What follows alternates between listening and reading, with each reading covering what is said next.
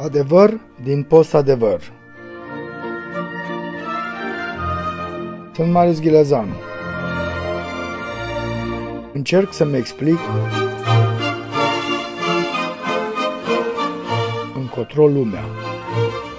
Amicii din lumea bună, a posesorilor de mașini electrice, a bolizilor înaripați, zic că mă plim cu șpohertul. Am făcut 300 de mii de kilometri cu acest uh, IETA. Sigur că am rămas pe drum la un moment dat că uitasem că trebuie să schimb cureaua de transmisie.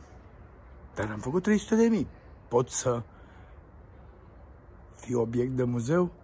Recent, acțiunile Tesla s-au prăbușit 14% doar într-o singură zi.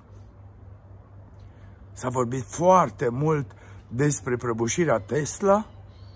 Eu am completat sau despre minunata lume nouă a balonului dezumflat. Un balon ideologic, zic eu, pentru tinerii care oferă un buget mare pentru o mașină. Poate v-ați întrebat de ce mașinile obișnuite s-au dublat la preț în câțiva ani. Din 2019, acțiunile Tesla au urcat la cer. De la 12 dolari acțiunea, a ajuns în noiembrie 2022 la incredibila cotă de 380 de dolari. Experții financiari susțin că există două motive ale acestui krah. Raportul de vânzări sub așteptări pentru anul 2022, când s-au vândut doar 405.278 de bucăți din totalul de 1,31 de milioane livrate în tot anul 2022 și efortul financiar consistent al lui Elon Musk pentru susținerea uh, Twitter. Presa neinițiată în tranzacțiile bursiere anunță an de coșmar pentru Tesla. Producătorul american de mașini electrice ar fi pierdut 675 de miliarde de dolari din evaluarea de piață, iar acțiunile au scăzut în total cu 65%, cea mai slabă performanță anuală din istoria mărcii, scrie ziarul financiar de la noi.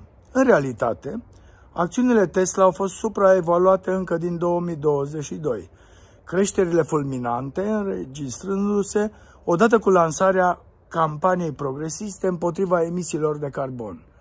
Dacă în vara anului 2019 prețul unei acțiuni, așa cum am mai spus, era de 12 dolari, în ziua de 5 noiembrie 2022 a ajuns la nivelul istoric de 407,36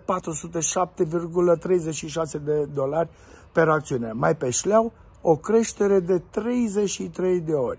Adică un investitor care a achiziționat un pachet de 1 milion de dolari în 2019 uh, avea la sfârșitul lunii noiembrie anului trecut 33 de milioane în valori mobiliare, ca așa li se zice acțiunilor. Dacă le-ar fi vândut în acele zile, ar fi uh, cumulat 32 de milioane de dolari profit în doar 3 ani, cu un milion de dolari investiți.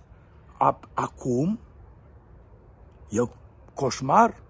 Prețul unei acțiuni a coborât la 108 dolari. Deci investitorul din 2019 a rămas săracul în posesie cu un plus de 8 milioane de dolari. Întâmplător sau nu, deprecierea Tesla a survenit în momentul în care Elon Musk cel cu SpaceX-ul, cu podurile uh, spațiale, cu navele închiriate, cu sateliții închiriați Ucrainei, a anunțat uh, vinderea unui pachet consistent din acțiunile Tesla. Să fie asta o coincidență, o prăbușire? Nu. E simplu, uh, acțiunile Tesla au fost gonflate. După apariția acestei acestui instrument a minunatei lumi noi, toate firmele mari de mașini au trecut la modelul hibrid.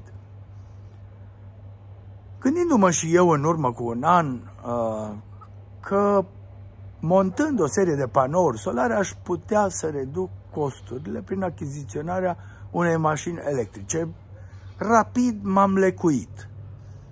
Urmărind ce se întâmplă cu această Tesla,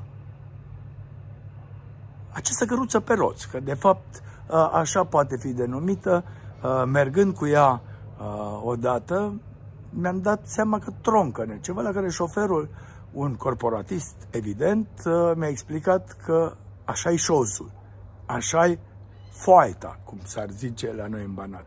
Apropo de Banat, un prieten s-a dus la Budapesta în plină iarnă, anul trecut, când iarna era mai dură decât acum, deci o distanță de aproape 300 de kilometri, autonomia Teslei fiind de 500 de kilometri conform manualului, cu 50 de kilometri înainte de aeroport, computerul de bord l-a anunțat pe șofer, tot corporatist, firește, că mai are 10% baterie. Au mers pe banda întâi, pe autostradă, spre batjocura șoferilor de tir, care râdeau de nou model Tesla. Tesla era nou-nouță, scoasă din țiplă. Au mers cu viteză mai redusă, se zice, mi-au spus că 50-60 de km la oră, astfel încât să ajungă la aeroport. La aeroport au ajuns fix cu 5 minute înainte de încheierea check-in-ului. La care amicul uh, zice, pe păi stai că trebuie să las undeva cheile. Uh,